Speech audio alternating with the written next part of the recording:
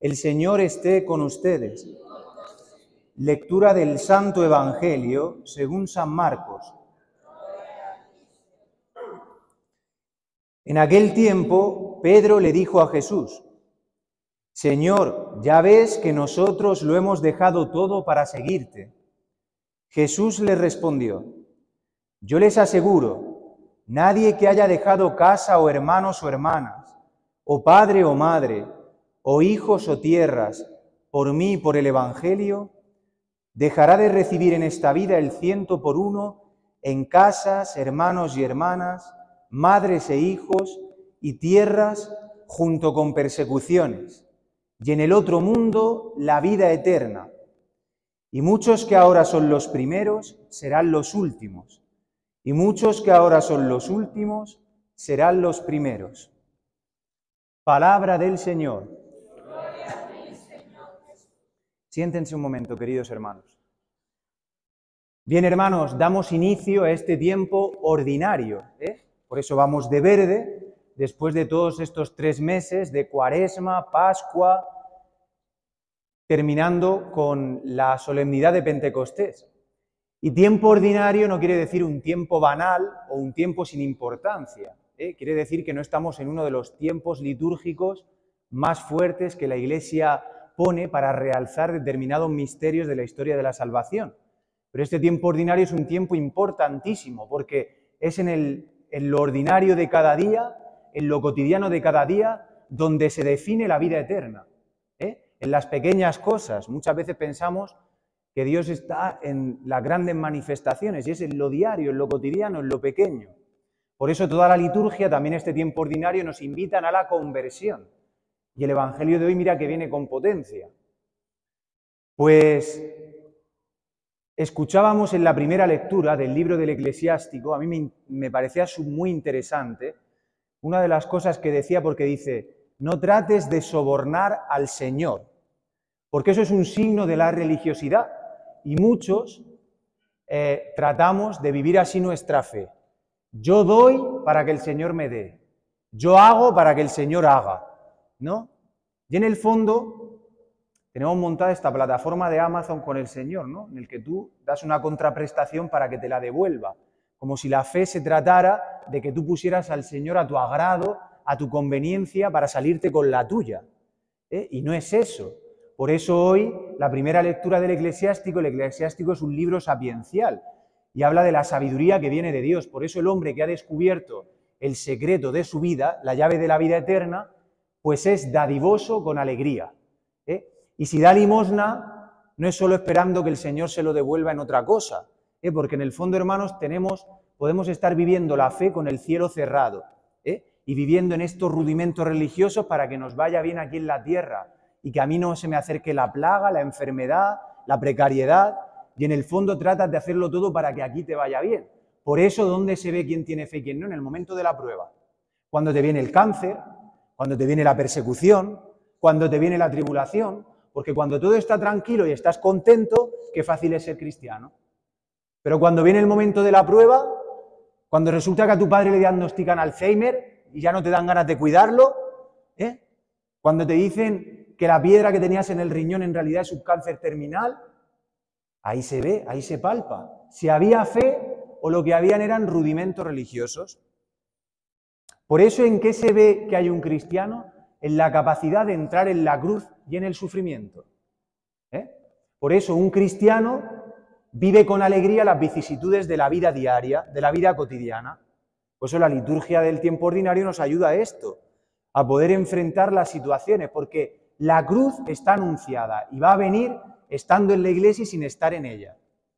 Pero la diferencia de cargarla con Cristo a llevarla yo con mis puños, con mi esfuerzo, pues la cruz te aplasta. Y cuando está Cristo, la cruz se lleva de una manera diferente. Pues hermanos, el Evangelio de hoy es muy interesante porque aparece Pedro, ¿eh? que es gracioso Pedro, ¿eh? tiene su, simpatía, las cosas que dice, ¿no? Porque él con toda esa ser bonachón, esa eh, intempestuosidad que tiene en el carácter, le dice al Señor, Señor, ya has visto que hemos dejado todo, por ti te hemos seguido. Ella, a lo mejor eso es lo que tú piensas. ¿Cuántas cosas me he sacrificado yo? Yo soy de los que voy a misa todos los domingos. Desde los anales de la historia, en mis crónicas que tengo escritas, no he faltado ni un solo domingo a misa. ¿Eh? Como si tú al Señor le añadieras o le quitaras algo con tus misas. Todavía no has descubierto que esa es la herramienta que te da el Señor para que tú vivas alegre y feliz, para que tú vivas unido al Creador, para que tú puedas afrontar los problemas, o quizá estás todavía en la religiosidad, pensando que tú le añades algo al Señor por venir a misa. Porque si tú le añadieras algo al Señor viniendo a misa, no sería omnipotente, ni, ni omnisciente, ni omnipresente. No sería Dios. Si la criatura le pudiera quitar o añadir algo al Creador. Lo único que haces es frustrar el proyecto de Dios porque Dios verdaderamente quiere que tú vivas feliz y te salves. Entonces, cuando tú te alejas de la salvación, te alejas del Creador, en un cierto sentido este proyecto se frustra. Pero hasta que no descubras que la misa no es para ser buenecito, sino para recibir la vida eterna, pues seguirás viviendo en la religiosidad. ¿Eh? Yo por eso aquí a mucha gente se le aparece la Virgen. ¿eh? A mí cada tres días viene alguien que me dice que ve a la Virgen, que tiene sueños majestuosos, que le habla no sé qué santo, que tiene visiones.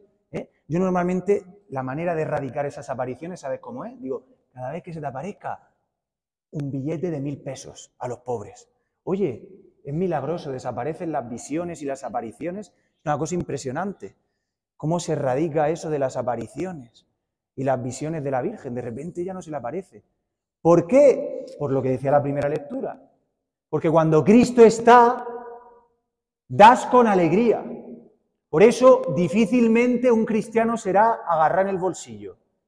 Porque el que afloja el bolsillo, el que ama a Dios con todo su corazón, con toda su alma, también lo hace con todas sus fuerzas.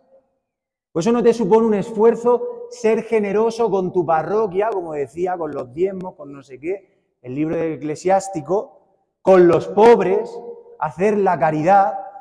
¿eh? Y no quiere decir que no es una lucha y un combate, porque el dinero siempre llama al dinero. ¿eh? Pero ¿cuál es, ¿en qué se ve? En el signo del dinero. ¿eh? Y tú te puedes escudar diciendo, no, es que yo no tengo mucho, yo soy pobre. Pues fíjate tú que yo he descubierto una cosa, que los que más dinero dan son los pobres. Los ricos, ¿por qué te crees que son ricos? Porque no sueltan un centavo, por eso tienen la cuenta alicatada de billetes. Pero los pobres son los más generosos muchas veces. ¿eh? Aquí en esta, en esta parroquia nos hemos ido de peregrinación y se le ha pagado a muchos jóvenes por los pobres de la parroquia, no por los que tienen mucho dinero. ¿eh? Por los que a lo mejor menos tienen y son los que más colaboran. Porque la pobreza o la riqueza no está en la cuenta del banco, está en tu corazón. Y hay gente que es muy rica en el banco y es pobre de espíritu, paupérrima, porque no tiene lo más importante de la vida, que es el secreto de la vida eterna, que es el amor de Dios en el corazón. ¿eh? Por eso San Gregorio Magno comenta el Evangelio de hoy y dice que cuando Pedro dice esto de Señor, nosotros que hemos dejado todo, dice, pero ¿qué ha dejado Pedro por el Señor?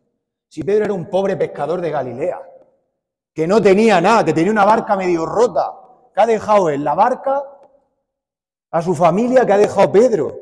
No se ha dado cuenta todavía, porque aquí está en el inicio eh, de la vida pública del Señor, Pedro tendrá que pasar muchos crisoles, tendrá que ser acrisolado y tendrá que experimentar la miseria de su corazón y su pecado, para darse cuenta que no ha dejado nada, que lo que ha hecho ha sido ganarlo todo. ¿eh? Porque ha dejado cuatro negocios que tenía malos, porque además dice la escritura que no pescaba nada. Lo único que pescaba era un resfriado cuando salía por la noche, porque tiene que llegar el Señor y dice, chachos, tirar la red por aquí y tal para que pesquen algo. Porque Pedro no pescaba nada, encima era mal pescador. Pues no ha dejado nada, lo ha encontrado todo, ha encontrado el amor de su vida y por eso quien ha encontrado el amor de su vida puede decir con el salmista del cantar de los cantares, lo he abrazado y no lo dejaré jamás. Dar por este amor todos los bienes de la casa sería despreciarlo. Ni dando todo lo que tienes tú en el banco, pagas el amor de Dios, le devuelves a Dios nada de lo que ha hecho por ti, que es abrirte las puertas del infierno para que tú puedas salir de tus pecados. Eso no lo puedes comprar tú con dinero, pero tenemos una mentalidad tan humana, tan chata y tan mezquina, tan terrestre, que pensamos que con el dinero lo compramos todo. Compras a tus hijos, compras el afecto, compras los votos políticos, no sé, lo que quieras. Pues hay cosas que no se pueden comprar con dinero, que es la salvación. Y eso se compra solo en la sangre de Cristo. Por eso quien ha descubierto esto dice, ¿qué he dado yo? ¿Eh? yo? Yo lo digo muchas veces, yo digo, cuando me acuerdo cuando me ordené sacerdote, salía del expiatorio, que ahí fue donde me ordené, y había dos chicas, que las pobres, pues en su sencillez y tal, ¡ay, qué alegría, Padre, nos da que usted lo haya dejado todo por el Señor! Me escuchaban el acento español, que usted se venga aquí a México de misionero, y digo, ¿que yo he dejado qué? La iglesia ha hecho un acto de fe ordenándome a mí sacerdote. Ni con diez vidas de sacerdote le pago yo al Señor lo que ha hecho por mí. Ni con diez vidas. ¿eh? Aquí que idolatramos tanto a los sacerdotes, los tenemos como faraones, como Tutankamón en la pirámide, el reino de San Miguel. Pobres hombres que hemos encontrado el amor de Dios en nuestra vida y el Señor nos ha empujado y nos ha ido llevando sobre alas de águila para poder decir un día que sí a este jugarse la que ha hecho la Iglesia con nosotros dándonos el ministerio ordenado. Igual que tú. ¿O qué te crees? ¿Que estás aquí porque eres buenísimo? ¿Porque eres muy dadivoso, muy caritativo? ¿Porque eres muy bueno en tu trabajo? ¿Por qué estás tú en la Iglesia si no es por misericordia? ¿Eh? Porque en la Iglesia están los pobres.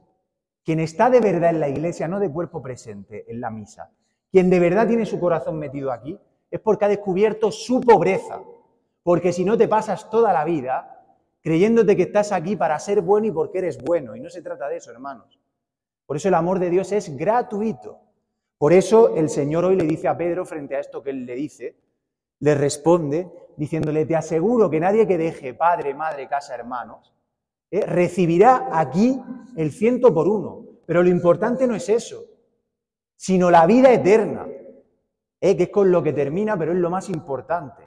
Lo más importante no es que recibas aquí nada, porque verdaderamente quien deja algo por Jesucristo experimenta la alegría. ¿Eh? ¿Tú te crees de verdad que las que están en un convento, jóvenes, que entran y mueren para el mundo y dejan la sexualidad y dejan el proyecto de familia, de ser madre, o los monjes o los curas, que se hacen célibes por el reino de los cielos, ¿tú te crees que están frustrados y amargados? Pues el que esté frustrado y amargado es porque no vive su ministerio ni su vocación como tiene que vivirla. Porque no hay mayor alegría que dejarlo todo por el Señor, te lo aseguro. Ningún casado tiene la alegría que puede tener un sacerdote o una monja unido a Jesucristo verdaderamente. Porque el amor humano te puede ayudar a trascender y a ver el amor de Dios. Y el matrimonio debe llevarte a Jesucristo. Pero es solo una primicia. Pero quien vive ya unido aquí a Jesucristo en la tierra, no hace falta que seas cura o monja, quien vive de verdad unido al amor de Dios, ya tiene esta alegría que huele a eternidad, que sabe a eternidad. Por eso el Señor hoy nos dice esto a ti y a mí. Todo lo que dejes tranquilo que no caerá en un saco roto, ¿eh? porque hoy el mundo vive así. ¿De qué te sirve tu Dios? Si mira, mira cómo te va, se te ha muerto no sé quién. Si mira la enfermedad que tienes, si mira los problemas que tienes, ¿de qué te sirve ese Dios tuyo del que hablas? ¿Eh? Y eso es lo que te dice la voz de Satanás, lanzándote los dardos. Pero es que el Señor lo que te ha prometido no es aquí. Eso es la añadidura, las sobras. Lo importante realmente es la vida eterna. Porque ¿de qué le sirve al hombre ganar el mundo entero si arruina su vida? Si te vas a ir al infierno, ¿de qué te sirve aquí? Por eso un cristiano puede sufrir, porque tiene la perspectiva de la vida eterna. Y cuando tú no tienes la mirada en la vida eterna, tú vives para ser feliz aquí, no puedes sufrir ni esto. Por eso, por no eludir el sufrimiento un poquito aquí en la tierra, te metes en sufrimientos mucho mayores que son los de los tormentos eternos.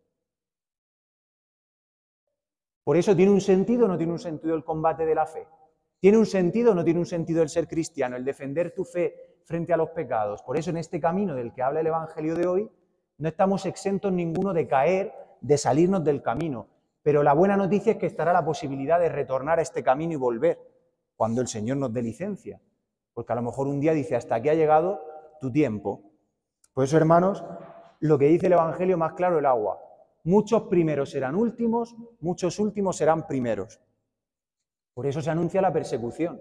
Y por eso Jesús en el Sermón de la Montaña, Jesucristo dirá, dichosos vosotros cuando os calumnien, os injurien y digan toda clase de mentira por la causa de Dios, porque vuestro nombre estará inscrito en el libro de los cielos. Así que si te persiguen por estar en la iglesia, enhorabuena. No hay que lamentarse de nada ni pasarte la manita. Dichoso tú, verdaderamente porque tu nombre estará escrito en el reino de los cielos. Que yo sepa, aquí en México poco se persigue por estar en la iglesia. Se podrán reír, hacerte burla, pero aquí la persecución, la persecución en África, que los queman por ir a misa, eso es persecución. ¿eh? O en la India que los despellejan vivos. Eso es persecución. Aquí las persecuciones, me río yo de las persecuciones. Aquí, gracias a Dios, dentro de lo que sea, pero estamos en un Estado católico que no somos perseguidos por nuestra fe hasta el día de hoy. Había otro tiempo en el que sí, hace menos de 100 años, con la cristiada, estas tierras de Jalisco están regadas de sangre de mártires y de santos que han dado su vida por la persecución seria. ¿eh? Pero por el momento así sufrir por la causa de Cristo, ¿eh? si es el cumpleaños de tu suegra, ¿me entiendes? Que no puedes ni verla el domingo y te dejas la misa por ir al cumpleaños de tu suegra, ¿qué persecución más necesitas? Si tú no necesitas persecución. A ti te tocan un poco las palmas y dejas a Jesucristo por un plato de lentejas.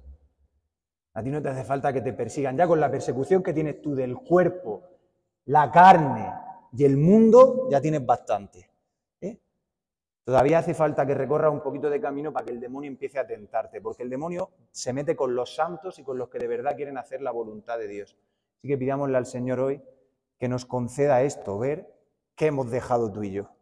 Seamos sensatos, seamos sinceros. ¿Qué hemos dejado nosotros por el Señor? Si supiéramos que la alegría de la vida es vivir unidos al Señor, estar en la iglesia con mucho lo mejor, no te lamentarías, sino que te alegrarías de estar con el amado, como el hijo que se queda en la casa y no reconoce, se piensa que el que se ha ido, a este le matas el novillo cebado, hijo mío, todo lo mío es tuyo, lo tienes todo, ¿qué más te puedo dar? Si no has descubierto todavía eso, ¿cuándo lo descubrirás? Pídele al Señor que te haga ver que vivir en la voluntad del Señor es con mucho lo mejor. Que así sea.